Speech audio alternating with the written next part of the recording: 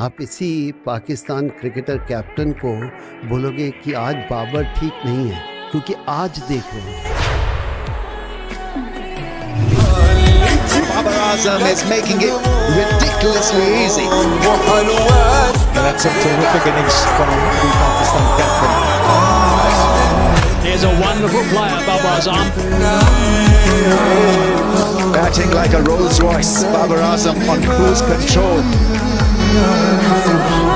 यही कप्तान था जो छह महीने पहले पाकिस्तान टीम को नंबर वन बनाया था।